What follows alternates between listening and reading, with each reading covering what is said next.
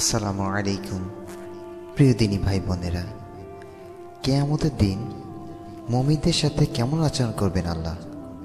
অনেক মানুষের কাছে প্রশ্ন হতে পারে, আল্লাহ তালা মমিদের সাথে কেমন আচরণ করবেন?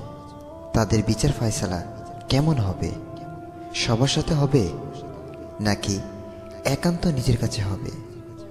আপনাদের কাছে এই হাদিসটি খুবই গুরুত্বপূর্ণ এবং অনেক আশাবাদী। চলুন, হাদিসের আলোকে সেই দৃশ্যটা অনুভব করি। আল্লাহ তালা যার হিসাব সহজ করতে চাইবেন এবং যার হিসাব সহজ করা হবে, সেই হিসাবে একটি হাদিস এসেছে।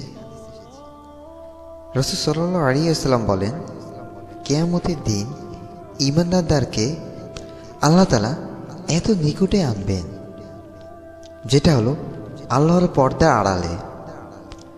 দুনিয়াতে আমরা যখন কোনো ডক্টর দেখাতে যাই, কিংবা কোনো একটা চাকরির সন্ধানে যাই, আমাদেরকে পার্সোনাল একটি রুমে নেওয়া হয়। ডাক্তারের দিক থেকে হলে পার্সোনাল রুমে আপনাকে জিজ্ঞাসাবাদ করা হয়। আপনার সমস্যার কথা তখন উল্লেখ করেন। ঠিক তেমনইভাবে আল্লাহ তালার পার্সোনাল পর্দা আছে। এটা হলো পার্সোনাল রুম। সেই রুমে আপনাকে ডাক দিবেন। একা একা, কাউকে সাথে রাখবেন না। আল্লাহ তালা তখন আপনি যে গুণা করেছেন, সেই ব্যাপারে স্বীকারোক্তি আদায় করবেন। সুবাহান আল্লাহ একেবারে আল্লাহ তালার খুব কাছাকাছি। আপনি যা যা পাপ কাজ করেছেন, সবগুলো তিনি বলবেন। মনে করে দিবেন, তুমি অমুক জায়গায় অমুক পাপ কাজটি করেছ। অমুক জায়গায় এরকম হারাম কাজ করেছ। অমুক জায়গায় জেনা লিপ্ত হয়েছ। অমুক জায়গায় মিথ্যা কথা বলেছ। সলা ত্যাগ করেছ। বিভিন্ন পাপ কাজ, সকল কিছু আপনাকে স্মরণ করতে থাকবেন। আপনাকে বলবেন, তোমার কি মনে আছে এইসব পাপ করেছ? তখন আপনি বলবেন, হে আমার প্রভু, আমি আমার গুণা ব্যাপারে স্বীকার করছি। এমন এমন গুণা অবশ্যই আমার দ্বারা সংগঠিত হয়েছে। মইন বান্দা কখনো মিথ্যা বলবে না। সে স্বীকার করে নেবে, কারণ আল্লাহ তালার কাছে সকল কিছু লিপিবদ্ধ করা আছে। তবুও আল্লাহ তালা তাকে এতটুকু জ্ঞান দিয়ে দিবেন, যাতে সে স্বীকার করে নেয়।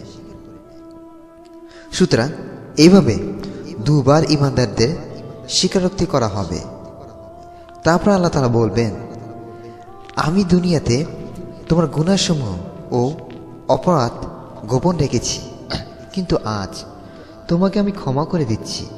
সুবাহান আল্লাহ কারণ আপনি যে সকল পাপ কাজগুলি করেছেন, তা ছিল আল্লাহর জন্য। প্রকাশ করেননি অথবা প্রকাশ্য করেননি। আপনি গোপন রেখেছিলেন, পাপ করেছিলেন, আবার তাওয়া করেছেন। যে পাপ ছিল আল্লাহর সাথে সম্পর্ক।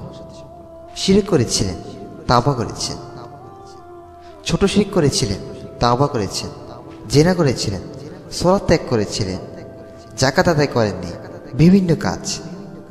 যা ছিল গোপনে। আপনি তাওবা করেছিলেন, আল্লাহর কাছে ক্ষমা চেয়েছিলেন। অতপর আল্লাহ তালা আপনাকে ক্ষমা করে দিলেন। তারপর সৎকাজ সমূহের আমলনামা ভাঁজ করে দেওয়া হবে। পক্ষান্তরে যারা খারাপ ছিল, কাফেরদের সাক্ষী সমক্ষে তাদেরকে ডেকে আনা হবে। এরা ছিল সে সকল লোক যারা তাদের রবের ওপর মিথ্যারোপ করেছিল। সাবধান আল্লাহ লানত জালিমদের ওপর। আল্লাহ তালা আমাদেরকে হেফাজত করুক। আল্লাহ তালা আমাদেরকে বুঝাও মানার তাফিক দান করুক। আমিন।